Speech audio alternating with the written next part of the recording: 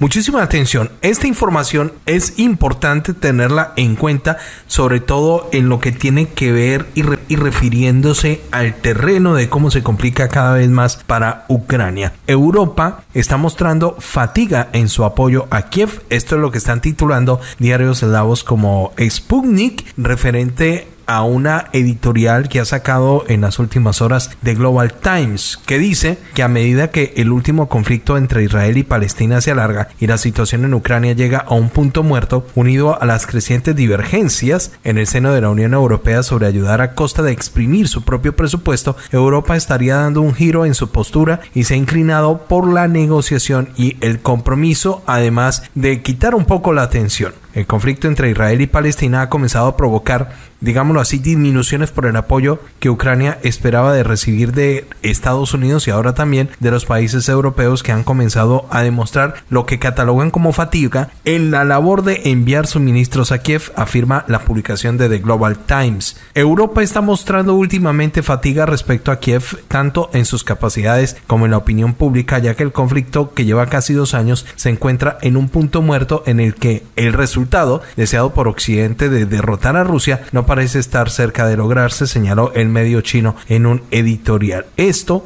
para los expertos, apunta la publicación, demuestra la disminución de apoyos hacia Ucrania por parte de algunos países europeos como Alemania, cuyo ministro de la Defensa Boris Pistorius reconoció que la Unión Europea no alcanzará su objetivo previamente establecido de suministrar a Ucrania un millón de proyectiles de artillería y misiles para el próximo marzo. Mientras que ante una cumbre de ministros de defensa de la Unión Europea, el jefe de la política exterior de la Alianza Multinacional, Joseph Borrell, también puso en duda el objetivo en medio de las reservas de varios miembros sobre el compromiso de aportar 5 mil millones de dólares anuales durante cuatro años como parte de los compromisos de seguridad de Occidente para reforzar las defensas ucranianas. Así dice la editorial, la actitud de Occidente en el conflicto en Ucrania ha mostrado signos de cambio, volviéndose menos radical y menos enfrentada, señaló el investigador Sun Segin consultado por The Global Times, en lo que creen es una fase de transición de la postura anterior a un proceso de negociación y compromiso entre las partes. Por su parte, dice esta editorial, el docente Kui Hen, académico del Instituto Nacional Chino para el Intercambio Internacional y la Cooperación Judicial de la OCSC,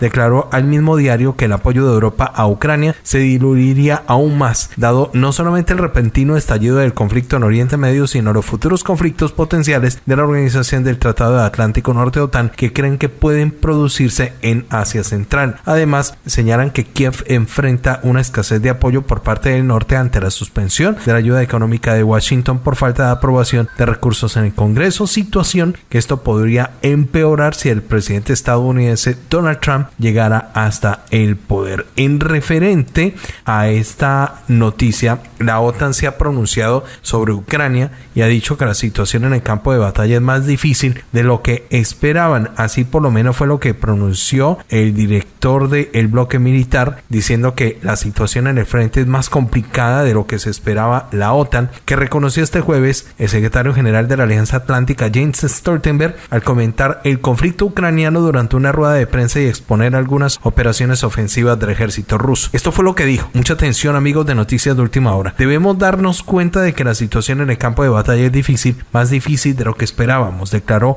el jefe de la OTAN. Sin embargo, manifestó que no es un motivo para dejar de suministrar ayuda militar a Kiev, ya que el bloque militar no debe permitir que Rusia obtenga la victoria en el conflicto. Es un argumento a favor de un mayor apoyo a Ucrania. ¿Por qué? Porque no podemos permitir que gane el presidente Putin, sostuvo Stoltenberg. Todos los jefes de Estado y de gobierno, todos los aliados de la OTAN, prometieron apoyar a Ucrania, no solamente porque sería una tragedia para los ucranianos si gana el presidente Putin, sino también porque sería peligroso para nosotros, aseguró. De acuerdo con las palabras, es un interés de seguridad nacional de todos los aliados de la OTAN, también de Estados Unidos, evitar que esto suceda, por lo tanto, dijo Stoltenberg que Estados Unidos confía en que seguirá brindando apoyo a Ucrania, concluyó.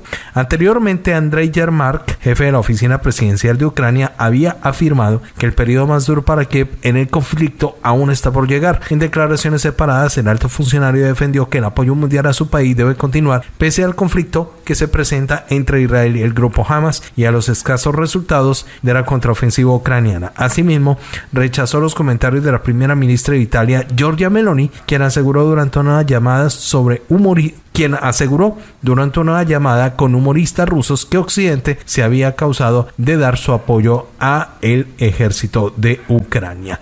Ahora nos llama la atención este artículo que fue publicado el jueves en The Wall Street Journal, en donde dice que ya es hora de poner fin al pensamiento mágico sobre una supuesta derrota de Rusia en el conflicto. Lo ha dicho un ex oficial de inteligencia estadounidense junto a otro ex funcionario que aseveraron en un artículo a través de Wall Street Journal lo siguiente. Vladimir Putin tiene motivos para creer que el tiempo está de su lado. En el frente no hay indicios de que Rusia esté perdiendo lo que se ha convertido en una guerra de desgaste, escribieron Eugene Rumer y Andrew Weiss agregando que el impacto de las sanciones en la economía y las capacidades militares rusas fue mucho menor de lo esperado. Las fábricas de defensa rusas están aumentando su producción y las fábricas heredadas soviéticas están superando a las occidentales en artículos muy necesarios como proyectiles de artillería, destacaron. Los tecnócratas responsables de dirigir la economía rusa han demostrado ser resilientes, adaptables e ingeniosos, aseveraron los expertos explicando que los precios del petróleo estarían llenando las arcas estatales en parte gracias a la estrecha cooperación con Arabia Saudita.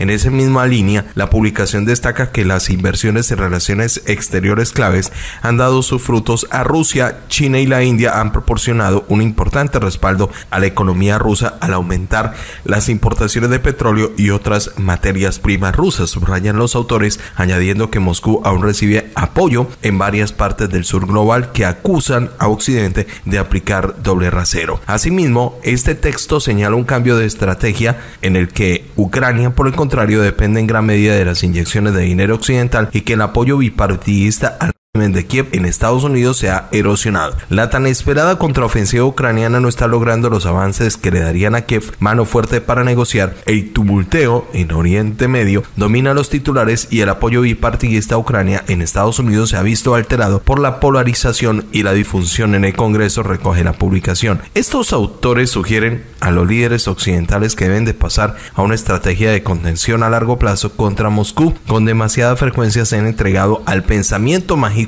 apostando por sanciones a una contraofensiva ucraniana exitosa o a la transparencia de nuevos tipos de armas para obligar al Kremlin a sentarse en la mesa de negociaciones, manifestaron. Asimismo, señalaron que de seis meses antes del inicio del operativo militar Putin aprobó una nueva estrategia de seguridad nacional para Rusia. El objetivo, según este informe, era el principal. El documento era preparar al país para una confrontación a largo plazo con Occidente. Hoy Putin puede decirle a la nación que su estrategia está funcionando, concluye el informe sacado por The Wall Street Journal. ¿Qué opinan ustedes, mis amigos? Dejamos hasta el momento el video. Esperamos sus comentarios en la cajita de respuestas. Muchas gracias por su audiencia. Nos escuchamos en el próximo contenido.